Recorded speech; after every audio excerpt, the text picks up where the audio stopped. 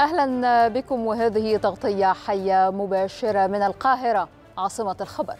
لأهم وآخر المستجدات على الساحتين الإقليمية والدولية. ونتابع في هذه التغطية انتخابات التجديد النصفي في الولايات المتحدة وآخر ما آلت إليه. كذلك نذهب إلى أوكرانيا ونتابع تطورات العملية العسكرية الروسية في أوكرانيا.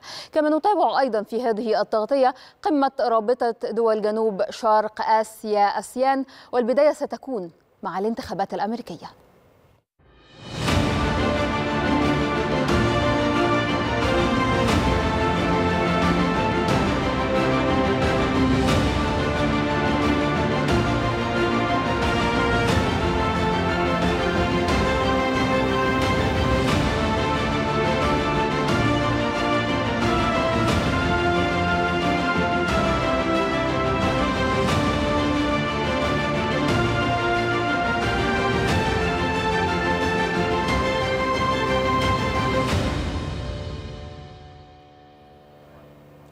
أعيد انتخاب عضو مجلس الشيوخ عن ولاية أريزونا الديمقراطي مارك كيلي.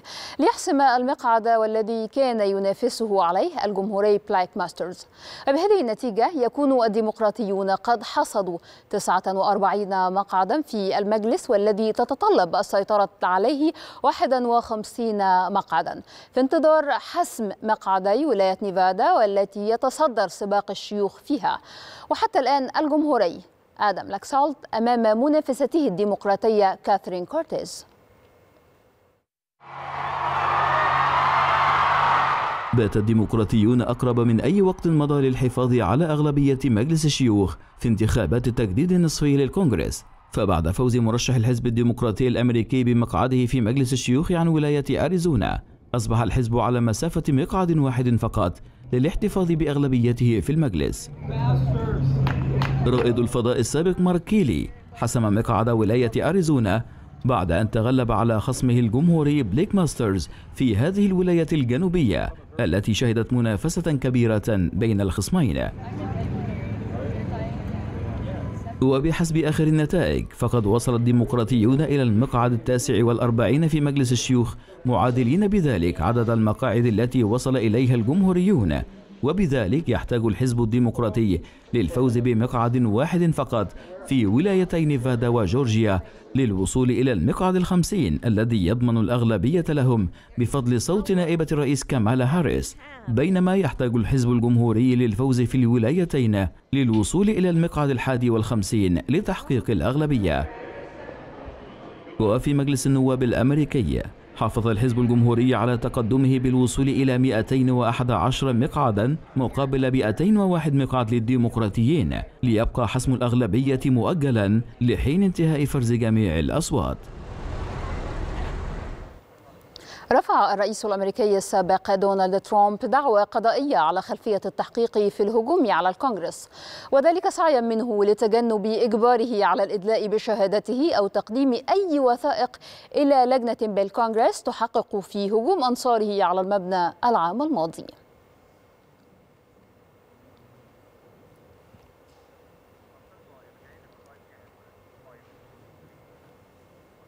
ولمزيد من التفاصيل ينضم إلينا من نيويورك مراسل القاهرة الإخبارية ياسر نور الدين. ياسر في البداية أهلا بك. سأبدأ معك من سياق الخبر الأخير. لماذا رفع الرئيس السابق دونالد ترامب دعوى قضائية على خلفية اقتحام أنصاره لمبنى الكابيتول؟ نعم داليا أهلا بك وبالسادة المشاهدين. حقيقة الأمر أن هذه الدعوة هي يعني تغطية للإخفاقات إن صحت هذه الكلمة داخل الانتخابات النصفية الحالية حيث أنه داخل الحزب الجمهوري الآن هناك يعني اتهام لدونالد ترامب بأنه قد دعم ماليا ودعم بشكل أساسي بعض الوجوه التي خسرت على سبيل المثال في بنسلفانيا عندما خسروا مقعدين في هذه الولاية الحاسمة والتي كانت دائما يعني ولاية مفصلية في الانتخابات سواء النصفية أو الانتخابات أيضا الأمريكية للرئاسة. بشكل عام يريد أيضا دونالد ترامب أن يبعد عنه الاتهامات الكثيرة هنا وهناك وأيضا القضايا المرفوعة ضده في مسألة الهجوم على الكابيتول والإخفاق الذي كان في بداية الأمر استطلاعات الرأي تتحدث بأن الحزب الجمهوري يسير بخطى ثابتة ولكن مع انتهاء الأمطار الأخيرة في هذا السباق الانتخابي نجد أن بفرز الأصوات أيضا داليا التي جاءت عن طريق البريد والاقتراع المبكر يتقدم الديمقراطيين بشكل كبير. وهو ما يتخوف منه الرئيس السابق دونالد ترامب وبطبيعة الحال الحزب الجمهوري ياسر هل نفهم من كلامك أو نستنتج مما قلته أن الحزب الجمهوري الآن يعيد ترتيب أوراقه ويعيد حساباته بشكل أو بآخر بعيدا عن الرئيس السابق دونالد ترامب؟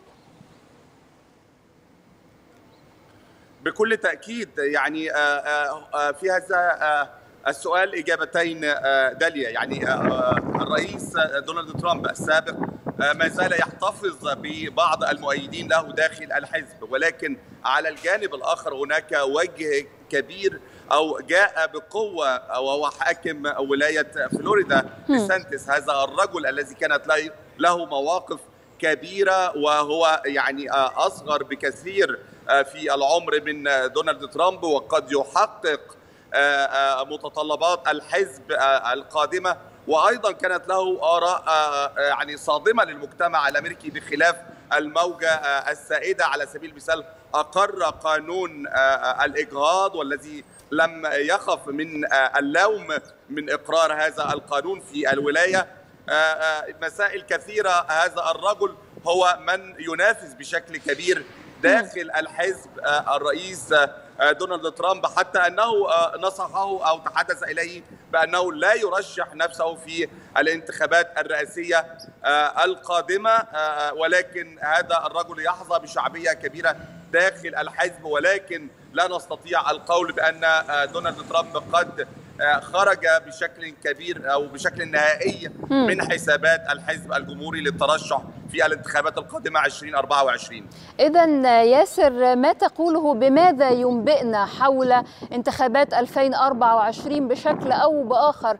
وماذا قيل آخر مستجدات ما أعلن حول يوم الثلاثاء القادم ونيه ترامب في الترشح؟ هل هناك جديد في هذا السياق؟ نعم الجديد يعلم بأن استطلاعات الرأي جميعها تؤكد على أن المفاجأة التي أعدها وتحدث عنها دونالد ترامب بأنه سوف يقوم بالترشح. هذا الرجل منذ اليوم الأول في حتى فترة رئاسته يتحدث بأن له ولاية أخرى وأن له مريدين كثيرين في داخل الحزب الجمهوري وأيضا في الناخب والشعب الأمريكي لن يفوت هذا الرجل الفرصة ليقوم بالترشح مرة أخرى. ولكن بظهور كما تحدثت داليا بظهور ديس ديسانتس هذا الرجل حاكم فلوريدا. نعم هذا الرجل يسير بقوة كبيرة حيث أنها هي المرة الثانية لانتخابه كحاكم للولاية. اذا الحزب الجمهوري ينقسم على نفسه حيث أن بعض من يؤيد حاكم فلوريدا يتحدث بأن دونالد ترامب أصبح ليس الوجه الصالح لأن يمثل الحزب في الانتخابات الرئاسية القادمة 2024 نعم مراسلنا من نيويورك ياسر نور الدين. شكرا جزيلا لك ياسر على كل هذه المعلومات. وسنظل أيضا في نيويورك عبر سكايب مع الدكتورة شيرين النجار عضو الحزب الديمقراطي. دكتور شيرين في البداية أهلا بك. لماذا يعني هذا السباق الانتخابي الذي أصبح كالمخاض العسير ولم تظهر النتائج بشكل نهائي حتى الآن؟ برأيك لماذا نجح الديمقراطيين الديمقراطيين وحزب الرئيس في تخطي عقبة انتخابات التجديد النصفي ولم يحدث الجمهوريين موجة حمراء كما أشاروا وكما كانوا متفائلين قبل هذه الانتخابات. أنا أرجح أو المحللين يرجحوا إنه اللي حصل إنه ترامب الحقيقة يعني حاول إنه يستخدم شعبيته في استقطاب بعض اليمينيين الجمهوريين. ونحن نعلم جميعا أن ليس الشعب الأمريكي كله هو الذي ذهب إلى إلى الكابيتال عشان يتظاهر ولا يقلب الانتخابات. هو اعتقد ان هذه البطانة أو هذه القاعدة هي التي ستنتفض وسترفض تماما بايدن وست يعني تنتخب الجمهوريين الذين هم في بعض يعني في بعض منهم كانوا فعلا معتدلين ولكنهم كانوا ضحية لترامب. لأنه لم يتراجع وهو لسه لغاية دلوقتي مصمم على إنه الانتخابات كانت انتخابات كويسة في لصالح الجمهوريين وأنهم حازوا ببعض الإنجازات. إحنا لا يعني لا ننكر إن في بعض المقاطعات في نيويورك التي دائما كانت تصوت جمهورية ديمقراطية انقلبت وبقت جمهورية. بس هذا لا يعني أن المعتدلين أو الذين هم في النص اللي هم بيسموه الأمريكان لا جمهوريين تفسيرك ولا تفسيرك دكتور شيرين لهذا المزاج المزاج المتقلب للناخب الأمريكي. يعني الأمريكان عملوا مقارنة بين الوضع في لما كان ترامب آه والوضع دلوقتي. آه حضرتك تعلمي أن أمريكا آه ذو أعراق مختلفة وديانات مختلفة. ترامب كان ينحاز دائما لليمين المتطرف وكان يفضل البيض و يعني ذو الديانة متخصصة يعني لوحدها وعمل عملية الينيشن اللي هم أبعد عنه جميع الناس اللي هم أصلا بنوا أمريكا وهم البطانة التحتية بتاعت أمريكا اللي هم الملونين والأسيويين والأفارقة. وبعض الأوروبيين ف طبعا جنوب أمريكا م. فكل هذا الاستقطاب يعني خلى بعض الأمريكيين ينفروا من هذه الرسالة التي هو كان دائما ينادي بها آه والعنف وعملية تخوين الآخر أنت لا تحب أمريكا إذا صوتت عكسي وطبعا هذا لا يتفق نعم. مع الدستور الأمريكي ومع الشعبية الأمريكية ومع الشعب الأمريكي اللي هم يعني عندهم قوة تحمل وقوة استقبال جميلة للناس اللي هم مختلفين عنهم دكتور شيرين أنت أتيت على ذكر النقطة التي كنت أريد أن أذهب إليها وهي مسألة الاستقطاب الشديد الذي شهدها ربما الشارع الأمريكي ربما خلال السنوات السابقة وليس الآن فقط. هل تتوقعين أن يستمر تصاعد هذه الحالة من الاستقطاب؟ كيف يتعاطى معها الشارع الأمريكي وأيضا دوائر صنع القرار؟ وأنت تذكرين أنها ربما حالة غريبة أو مستجدة على الأمريكان. الجمهوريين يرجعوا الاستقطاب من أيام سبتمبر 11 سبتمبر وبعد كده قال لك قالوا لك لا ده أوباما هو اللي زاد الجاب الفجوة. لكن أنا الحقيقة يعني يعني أبص ليها من ناحية ترامب ترامب يعني كان كلامه فظ وعنيف وشرس وحاول إبعاد الغير إبعاد الناس اللي هم مثلا مهاجرين اللي زي من أصل غير يعني أمريكي والملونين وال ف يعني نحن كعرب صار منها حاله من الاستياء لأنه ابتدينا نلاحظ حتى حتى اليهود حصل لهم حالة من الاستقطاب من ناحية ترامب مع إنه ترامب الوحيد الذي نقل السفارة إلى القدس. لكن كما ترى حضرتك تسمعي في الإعلام ان في حوادث كثيرة جدا ضد اليهود الأمريكان فوسيخ الأمريكان. فكل هذا حدث مؤخرا بعد رسالة ترامب أن يعني أمريكا بس للبيض وليس لأي عرق آخر يعني. دكتور دكتور شيرين كيف كيف تقرأين العامين المقبلين في الكونغرس الأمريكي؟ وبالنسبة للرئيس الأمريكي جو بايدن هل سيمران بهدوء وسط أغلبية ربما تكون ضئيلة للجمهوريين داخل المجلس؟ وهل يحرك الجمهوريون الدعاوى أو القضايا المتعلقة بالانسحاب المرتبك من أفغانستان مثلا أو قضايا نجل الرئيس هانتر بايدن أو كل بايدن كل كل القضايا التي ربما أشاروا إليها أثناء الحملة الانتخابية؟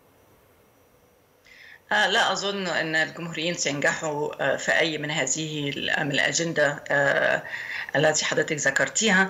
آه لأنه في حاجتين أولا ترامب نفسه موضوع تحت التلسكوب وفي قضايا كثيرة حوالين الضرائب التي تهرب منها. ثانيا بايدن هانتر من هانتر بايدن مش في الزاوية التي سيناقشها الجمهوريين الآن لأن الآن الجمهوريين منقلبين على بعضهم. ترامب حاليا في في حالة شجار شرسة بينه وبين ماكارثي بينه وبين ديسانتس. ديسانتس. فيعني حصل في جوه الحزب الجمهوري نفسه في حالة من من الغضب ومن الشجار بينهم وبين بعض.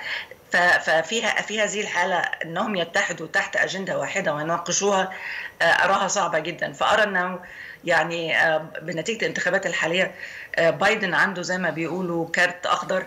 إنه يمشي القضاة الذي يعني هم يعني اختارهم يمشوا المناخ قضايا المناخ قضايا قضايا الطاقة والبترول المساعدات لل الطلبة لأوكرانيا الأجندة السياسية للرئيس والمساعدة آه نعم. طبعا. والمساعدة لأوكرانيا وعملية اللي نعم. هو أخيرا دكتور شيرين وسريعا إذا سمحت لي أخيرا وسريعا. الديمقراطيين الآن اقتنصوا أريزونا ويتبقى نيفادا وجورجيا. توقعاتك للدائرتين المتبقيتين؟ أنا أتوقع أن هم لن يأخذوا جورجيا. أن الديمقراطيين حينزلوا بكل ثقلهم في جورجيا. نعم. ده توقعاتي. شكرا دكتور شيرين النجار عضو الحزب الديمقراطي. كنت معنا من نيويورك. شكرا جزيلا لك. الآن نتحول إلى ثاني ملفات هذه التغطية حيث تطورات الأزمة الروسية الأوكرانية. Великой Победы! Ура!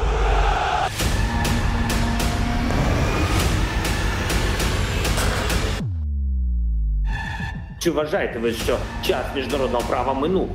Якщо ваша відповідь ні, то діяти потрібно. Не может не тревожить и то, что на Украине был принят целый ряд законов и подзаконных актов, по своей сути противоречащих Минским соглашениям.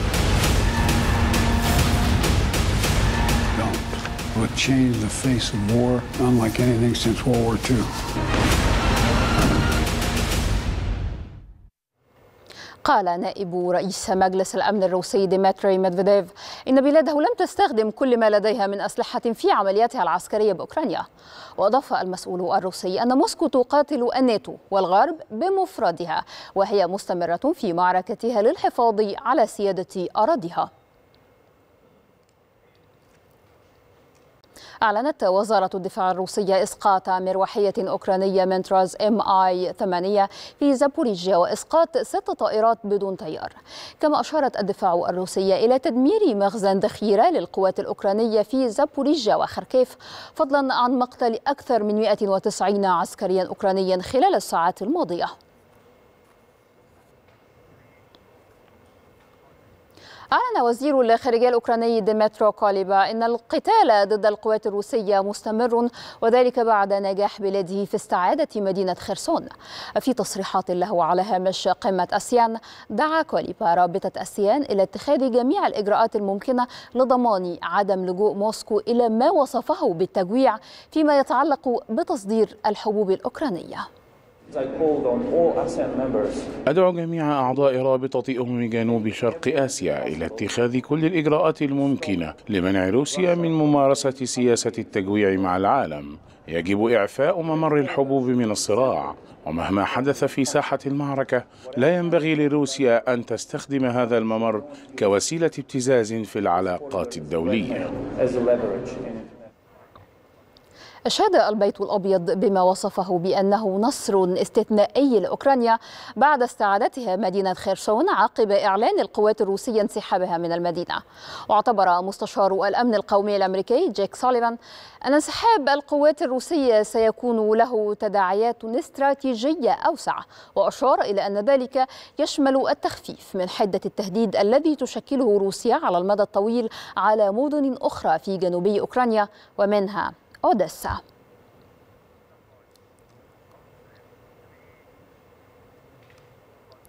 ذكرت وزارة الدفاع البريطانية أن انسحاب القوات الروسية من مقاطعة خرسون يعد اعترافا علنيا بالصعوبات التي يواجهها الجيش الروسي. وأضافت الدفاع البريطانية أنه من المرجح أن روسيا لا تزال تحاول إجلاء قوات من مناطق أخرى في المقاطعة عبر نهر دنيبر. وأوضحت أن القوات الروسية ستتخذ مواقع دفاعية على الضفة الشرقية مرجحة أن أوكرانيا استعادت مناطق واسعة من مقاطعة خرسون على الضفة الغربية للنهر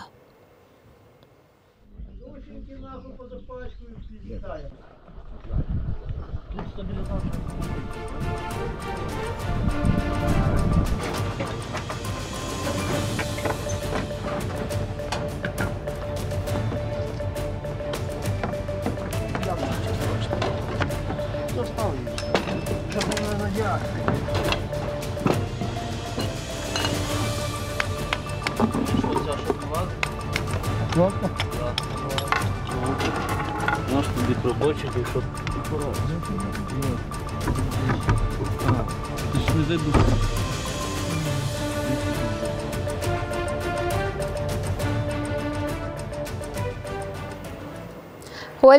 حول هذا الملف ينضم إلينا من سيفاستوبول دكتور عمار قناة أستاذ العلوم السياسية والعلاقات الدولية. دكتور عمار أهلا بك في البداية. كيف ترى خسارة روسيا لخرسون؟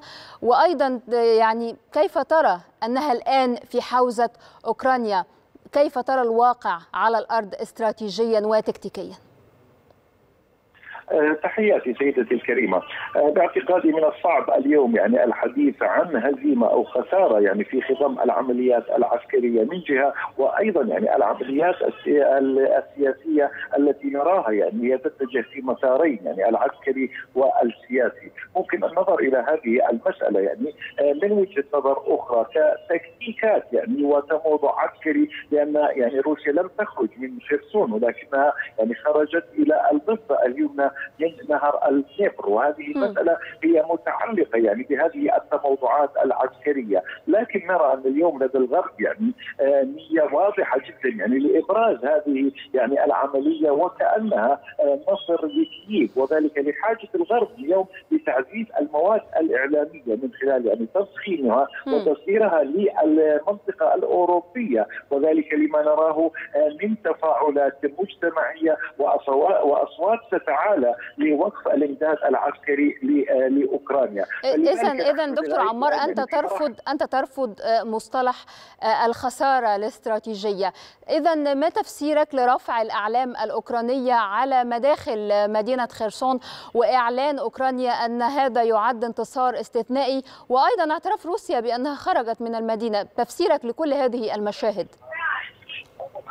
سيدتي الكريمة يعني اقولها يعني واكررها مرة أخرى يعني الهدف من المسألة بالنسبة لأوكرانيا واضح جدا يعني الحالة يعني الإعلامية وتصديرها يعني للعالم للمجتمع الدولي، لكن هذا يعني لا لا يمكن أن يؤثر يعني جذريا أو حتى جزئيا اولا على العملية العسكرية، ثانيا على العملية السياسية والأهداف التي وضعتها يعني روسيا من خلال يعني اولا تحييد أوكرانيا عن حلف الناتو وثانيا يعني القضاء على النازيه ونرى يعني أن هناك أربع أقاليم قد انضمت يعني رسميا إلى روسيا. فلذلك يعني مرة أخرى من المبكر جدا الحديث عن نصر يعني عسكري. وأن الحسم العسكري باعتقادي أنه من الصعب يعني أن يكون بأوكرانيا خاصة يعني مع الوضع العسكري أو القدرة العسكرية والصاروخية لروسيا، لكن هذه ممكن اعتبارها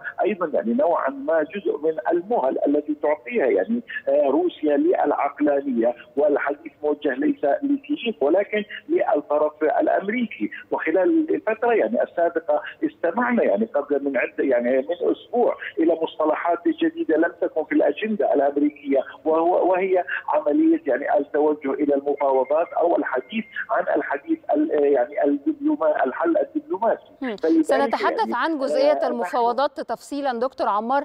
اذا الان تكتيكيا فيما تفكر روسيا بعدما حدث على الأرض ما هي برأيك الخطط الروسية لاستعادة ما فقدته من خرسون؟ حتى إذا كنت ترفض أن هذا يمثل انسحاب. باعتقادي يعني بناء على المعطيات يعني العسكرية الواردة من وزارة الدفاع يعني وقراءة للواقع العسكري في منطقة يعني خرسون التوجه أراه إلى التكتيك يعني الدفاعي من حيث يعني تعزيز الخط الدفاعي على يمين نهر الدنيبر وهنا أيضا يعني نقطة إذا سمحت لي سيدتي يعني التنويه إليها أن تلك المنطقة يعني التي خرجت منها روسيا كانت يعني عليها مخاطر كبيرة ومنها يعني وأهمها وهي إغراقها من خلال القصف الصاروخي الأوكراني لسد كاخوفكا. فلذلك التوجه اليوم باعتقادي يعني في المراحل القادمة سيكون الدفاع التكتيكي في المنطقة الجنوبية في خرسون والتوزع وممكن يعني تعزيز الجبهات في منطقة يعني الدنباس فيما يتعلق في دانيسك وفي وفي لوغانسك. لكن الحديث عن نهاية أو حسم يعني عسكري لهذه المسألة أعتقد إنه من المبكر اذا لماذا دكتور عمار برأيك اختارت روسيا منطقة أخرى لإعلانها عاصمة لاقليم خرسون بدلا من العاصمة المعروفة أو الإقليم المتعارف عليه؟ إذا لم يكن على الأرض الواقع يشير إلى أن روسيا خرجت من هذا الإقليم. وأيضا تحدثت القوات الأوكرانية عن أنها أن روسيا تركت أسلحة ومعدات عسكرية عثرت عليها القوات الأوكرانية في هذه المنطقة. سيدتي يعني فيما يتعلق في المعلومات الواردة من أوكرانيا وخاصة يعني من وزارة الدفاع وحتى من الرئيس يعني زيلينسكي لا يمكن يعني التعويل عليها لأنها يعني فاقدة للكثير من مصداقيتها. وهنا يعني اللعب على الوتر الإعلامي لا أكثر ولا أقل. فيما يتعلق يعني في روسيا لا نستطيع يعني لا نستبعد سيدتي الكريمه ولا يمكن استثناء يعني المسار السياسي والوضع الإقليمي فيما يتعلق اولا بمستقبل أوكرانيا وثانيا المعادلة الدولية والتي لغاية الآن أرى أن يعني الولايات المتحده يعني لا توجد لديها. الرؤية الاستراتيجية الواضحة للتعاطي مع روسيا. فلذلك نعم يعني روسيا وهذه المنطقة تعتبر خرسون يعني كمحافظة ولكن روسيا لم تخرج من المحافظة وحتى من المدينة كاملة لم يعني تهديها لأوكرانيا. لكن نحن الآن في بدايات ممكن القول يعني تكتيكات وعمليات عسكرية جديدة. لكن الإعلام الغربي يعني يود إظهار المسألة وكأنها يعني نصر عظيم بين قوسين لأوكرانيا لتمرير اذا اذا أنت دكتور عمار ترفض أن تتعامل مع ما تقوله أوكرانيا أو ما يبثه الإعلام سواء الأوكراني أو الأمريكي أو الغربي بشكل عام بجدية. إذا ماذا عن الموقف في روسيا؟ أريد أن أستوضح منك رأيك فيما قاله ميدفيديف من أن روسيا تحارب الناتو والغرب بمفردها ولم تستخدم كل قوتها بعد ماذا يقصد هنا؟ هل هنا يعيد الحديث عن استخدام السلاح النووي مرة أخرى أم كيف فهمت هذا التصريح؟ سيدتي الكريمة لا أعتقد أنه يعني ينوه لمسألة يعني استخدام الناتو لكن فيما يتعلق يعني بكل هذه العمليات العسكرية روسيا ولغاية الآن يعني تستخدم فقط الأسلحة التقليدية ولم تزج يعني في القوه العسكرية يعني ولو حتى أقل من نصفها في هذه المعارك، المسألة يعني هنا ارتباطها اولا يعني هناك خطة وأهداف أساسية من هذه العملية. يمكن أن تنجز من خلال استخدام فقط يعني هذا الكم، لكن يعني كانت الرسائل موجهة ومنذ البداية إلى كييف وللمعسكر الغربي بعدم يعني زيادة الاستفزازات. وقد رأينا يعني الرد الروسي قبل يعني أقل من شهر على كييف وعلى المدن الأوكرانية عندما توجهت يعني توجه مسار يعني العسكري من العسكري إلى الإرهابي. فهذه كلها يعني ممكن اعتبارها رسائل. سيدتي لا يمكن الحديث عن نصر عسكري لأوكرانيا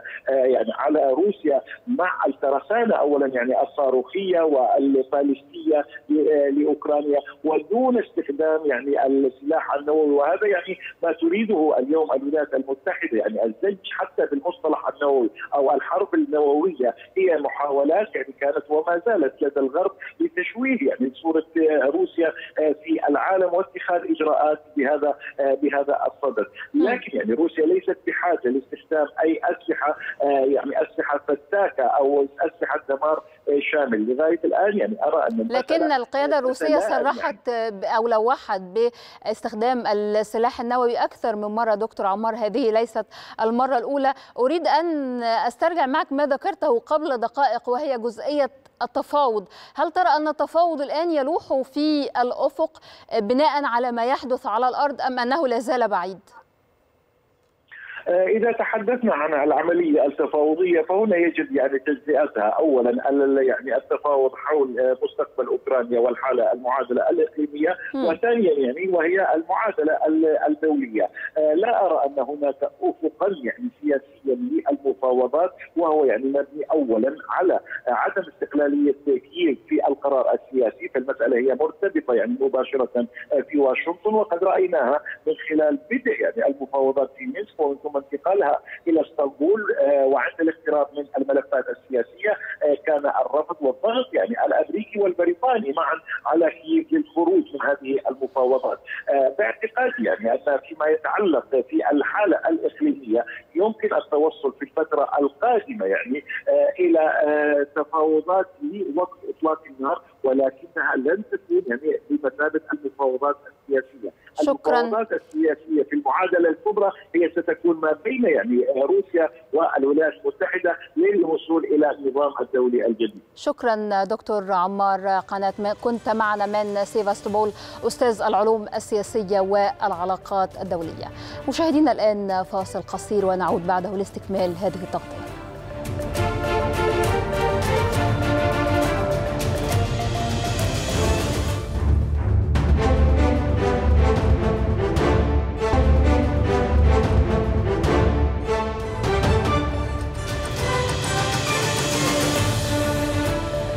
أهلا بكم من جديد. والآن إلى ثالث ملفاتنا لهذه التغطية وقمة رابطة دول جنوب شرق آسيا حيث حذر الأمين العام للأمم المتحدة أنطونيو غوتيريش من أن الانقسامات الجيوسياسية تساهم في انعدام الأمن العالمي ما يؤدي إلى نشوب صراعات جديدة ويزيد من صعوبة إنهاء النزاعات القديمة. في كلمته أمام قمة آسيان قال غوتيريش إن هناك حاجة إلى تعزيز الجهود الجماعية لإيجاد حلول متعددة الأطراف والتخفيف من العواصف الجيوسياسية وإعادة أهداف التنمية المستدامة إلى مسارها الصحيح.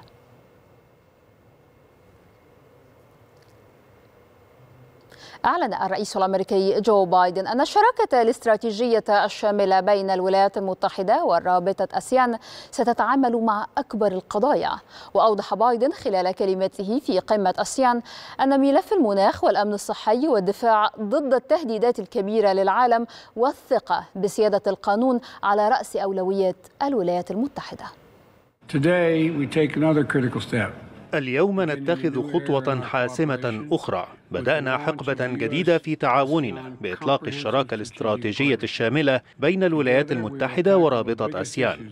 معا سنتعامل مع أكبر القضايا في عصرنا من المناخ إلى الأمن الصحي والدفاع ضد التهديدات الكبيرة للنظام القائم على القواعد والثقة بسيادة القانون.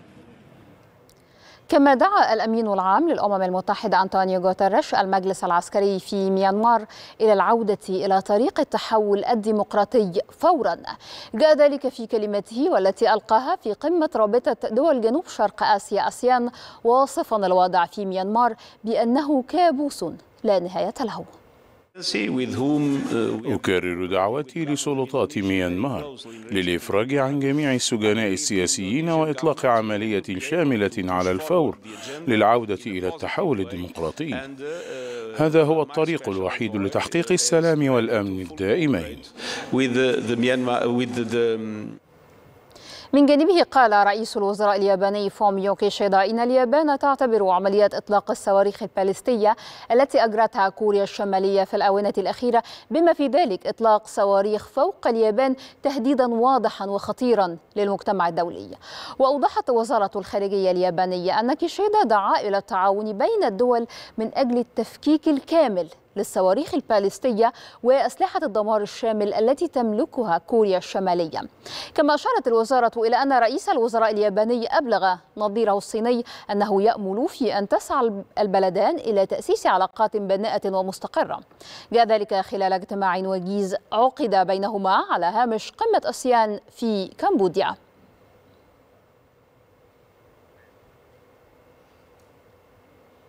أعرب رئيس كوريا الجنوبية يون سيوك يول عن أمله في إعادة تفعيل آليات التعاون الثلاثي بين بلاده والصين واليابان بوتيرة سريعة.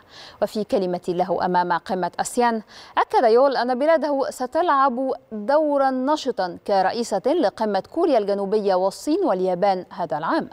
وأضاف أنه ستكون هناك نتائج للسلام والازدهار الدوليين إذا استجابت أسيان ودول شرق آسيا الثلاث بشكل مشترك للتحديات خاصة الأمن الغذائي والطاقة.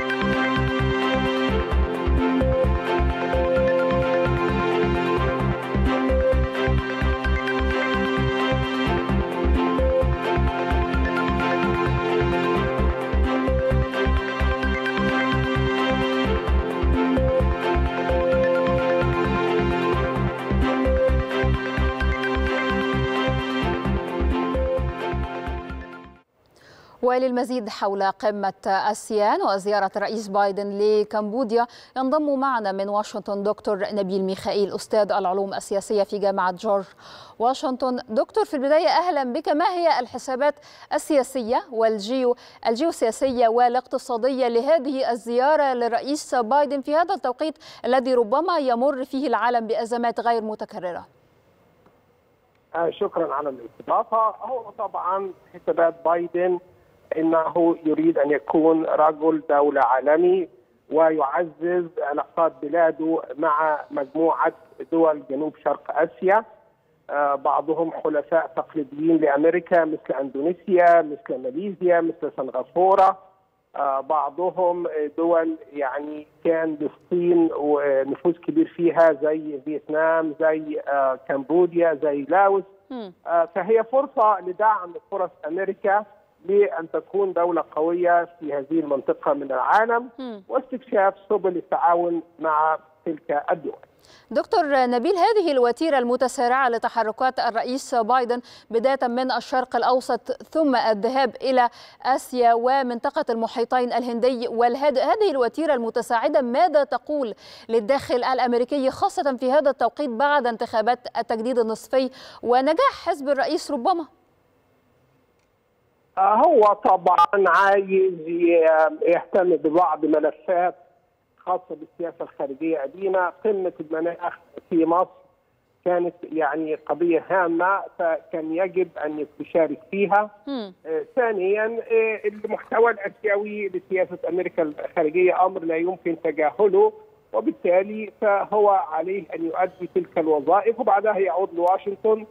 لكن لو ركزنا على قارة آسيا حيث إن قمة العشرين حتى هتعقد في آسيا آه، ربما يفكر بايدن في قضايا ستشغل أمريكا وسياسته الخارجية لفترة طويلة آه، وهيكون مصدرها قاره آسيا. ألا وهي احتمال حدوث توترات ما بين الصين وتايوان ربما تجرب آه، كوريا الشمالية بعض من أنظمة ال- التسلح الحديثة مثل صواريخ تطلقها أو غيره وده هيهدد طبعا منطقة شرق آسيا وحديث أمريكا كوريا الجنوبية بالإضافة إلى تأزم الموقف مع إيران.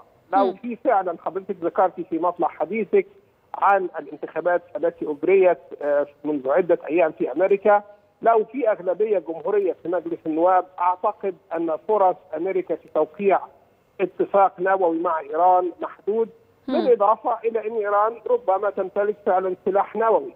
فهو يحاول أن يهدئ من منطقة جنوب شرق آسيا بالتعامل مع قضايا أخرى في آسيا بتركيزه أيضا بأسلوب أكثر ثقة. دكتور نبيل حضرتك ذكرت مسألة الكونغرس القادم إذا أتى بأغلبية جمهورية طفيفة.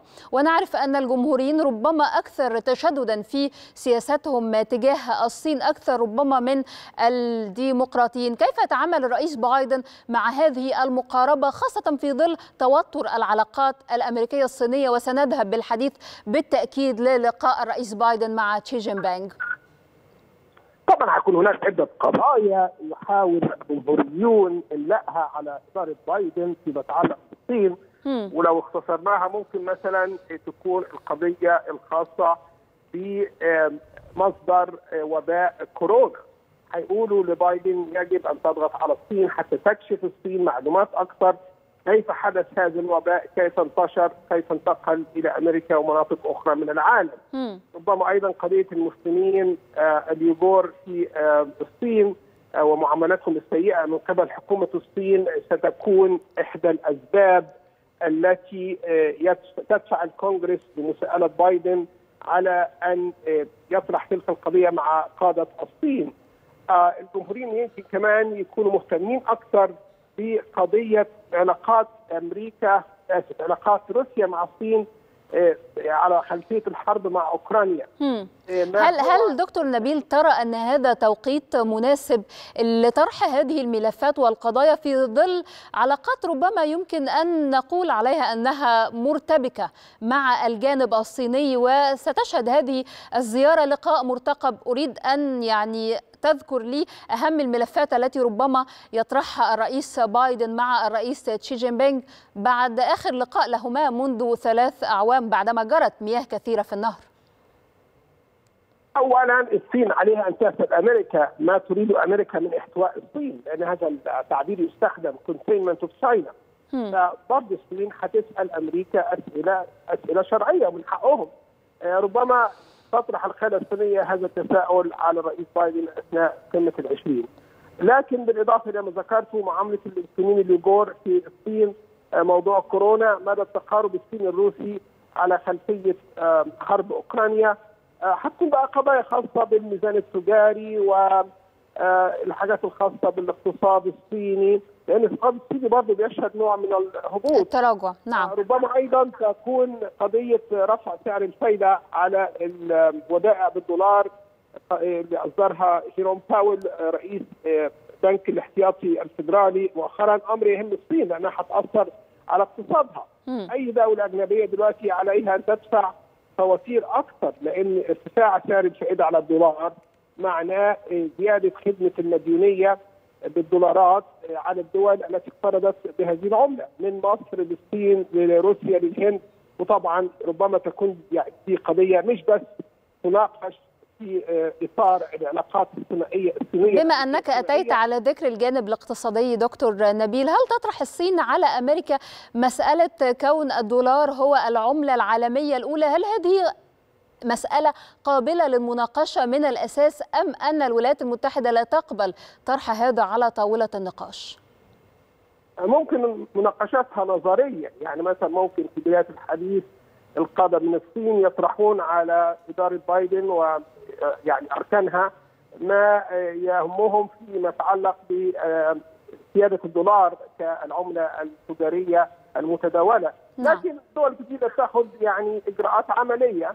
ممكن مثلا مصر تحصل رسوم قناة السويس للعملة المصرية الجنيه المصري آه روسيا أخذت خطوات مؤخرا لدعم الروبل وجعل عملة يمكن التعامل معها فهتبقى بأسلوب نظري وليس بأسلوب عملي. نعم، دكتور نبيل بقراءتك للمشهد ترى كيف تراقب روسيا هذه الزيارة وهذا اللقاء وهي الحليف الاستراتيجي الأقرب لبكين؟